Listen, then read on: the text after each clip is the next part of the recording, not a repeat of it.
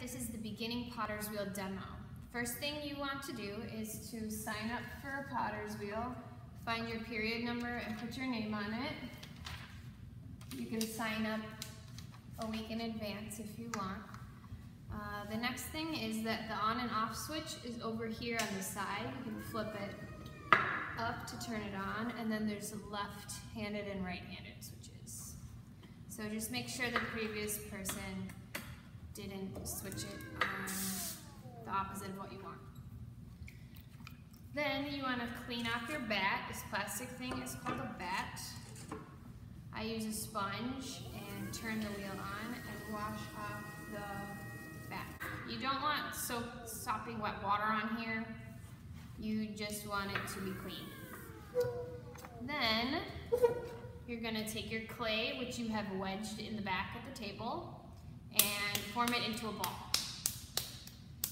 Uh, if you skip wedging and you skip making it into a ball, then you're just kind of setting yourself up for a tougher time. So take the time to get yourself ready. Then you're going to put the clay on the center and hit it on. Make sure it really gets attached onto the wheel so it doesn't go flying off when you start. Then the first step is centering. Right now the clay is not perfectly centered. So I'm gonna have the wheel pretty fast. I'm going to get my hands wet, and then I'm going to center. What I'm gonna do with my right hand is I have it, if this is a clock, I'm pointing towards 12 o'clock and I'm pushing forward. My hand's resting on the bat, and this hand is kind of over on the side to help. I'm using my whole arm and shoulder and body to push forward so that the clay stops moving my hands and it's centered. Centering can take quite a few practices to get right, so don't feel frustrated if you're having trouble. If you are having trouble centering, you can move into the next step, which is coning. I like to think of it as making, uh, making the clay into a volcano, bringing it up and then bringing it down. And I use the palms of my hands, kind of bring it, bring my hands together and up. And what this does is it gets the clay that was in the center up to the top, and it now is centered at the top. To push it back down, I'm gonna use my palm again and I'm pushing towards 12 o'clock, and then it'll bring it right back down. And then back into the original centering position. Um, I'm gonna do this a few times to just make sure that everything is nice and centered before I start uh, moving forward.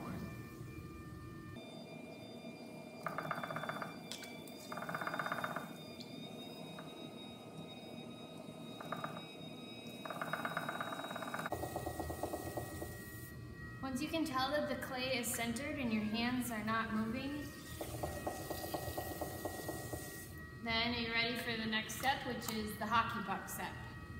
So you're gonna compress the clay I like to use this part of my hand and kind of think about judo chop and press the clay down.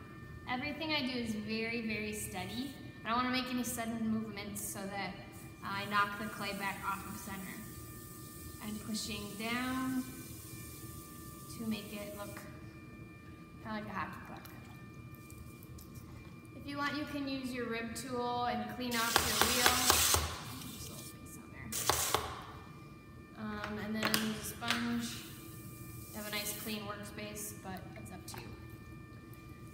Hockey puck, you're going to um, create the hole in the center.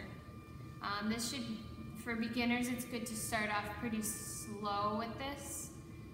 And by slow, the wheel's still going fast, but I'm gonna push my, my thumbs into the center slowly. Very slow and steady.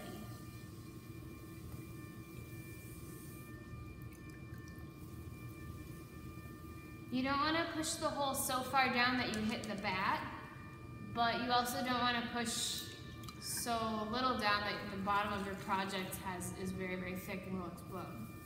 So you kind of have to guess, or you can use a needle tool and check.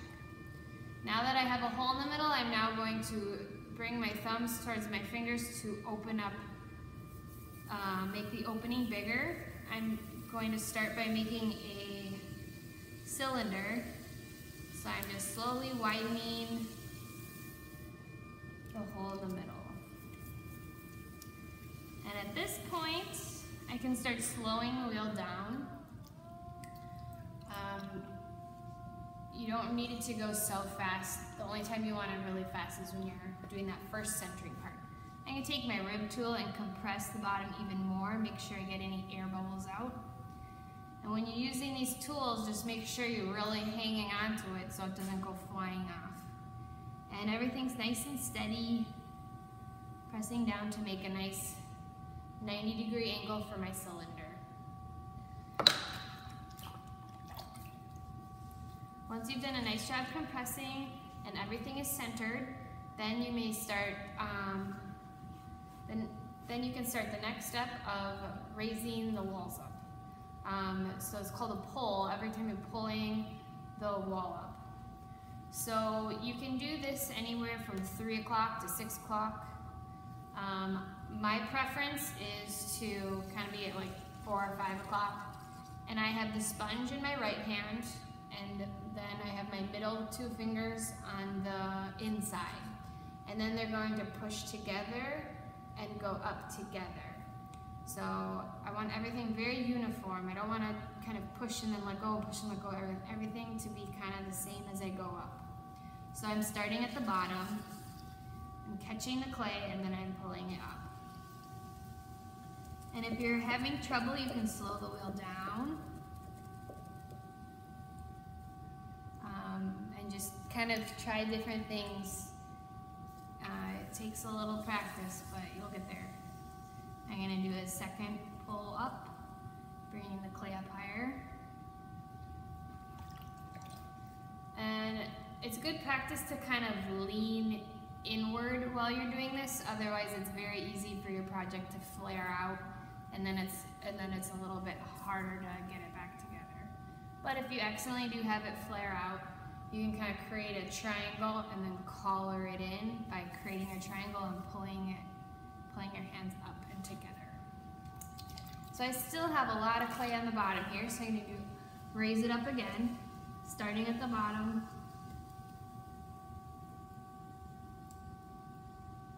going up.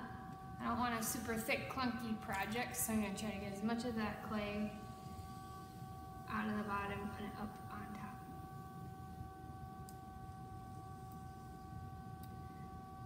I can tell it's starting to get a little thin in here, so that's because I pressed a little too hard in one spot. But you kind of like, as you go, you'll figure out the thickness.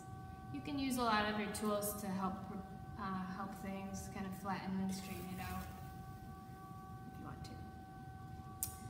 Um, so the first thing I want you to make is a cylinder. So this would be a cylinder.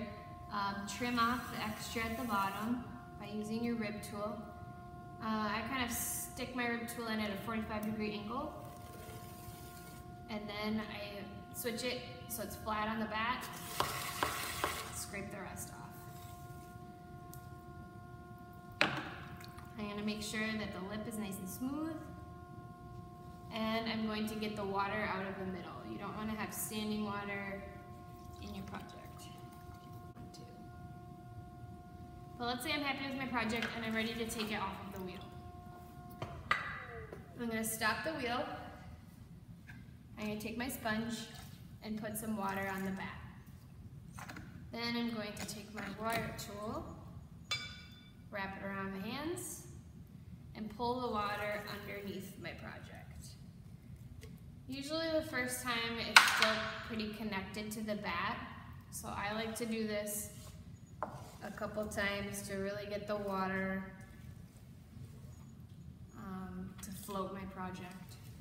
So I can tell that it's floating now and it'll be easier to take off So what I'm gonna do now is I'm going to push my project towards the edge, uh, stick my hand underneath, and transfer it to a bat. It's a lot easier. It gets a little warped, but then when you set it down onto the bat, it evens itself out. Um, if you want to see how you did, you can dissect your project by cutting it in half.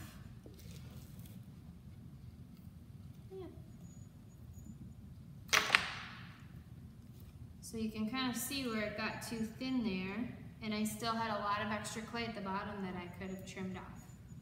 I can re-wedge this and try again. Or if it's time to clean up, then you will need to clean off your potter's wheel. To clean off your potter's wheel, I use my bucket of water that I have, and I use my tools. Uh, you can use your rib tool again to clean off extra clay. And I just put all the extra clay into the bucket because then I don't have to kind of hog a sink. Then I'm gonna take my sponge and get this extra water out, water and clay out of the basin. Because I don't wanna leave a huge mess for the next person. And I don't want the clay to keep building up on here. So once you can see yellow on the inside, you're good. Then, I take my tools and I just wash them in my bucket. And I just get most of that clay off of there. Clean off my wire tool.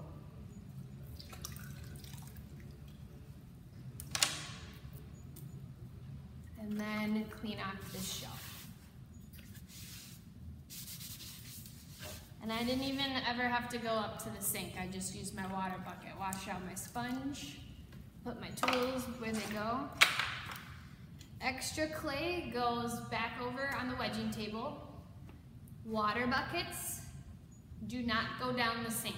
Our sinks cannot handle them. So what you can do with your water bucket is you can leave it right there and I will take care of it. Or you can take your water bucket and pour it into one of the white buckets that is over by the pug mill and the plant. You just pour it in there and then I will recycle the clay. Very last thing is to have me check off your potter's wheel. I will put a check mark that you cleaned your wheel and then you will be allowed to use it again.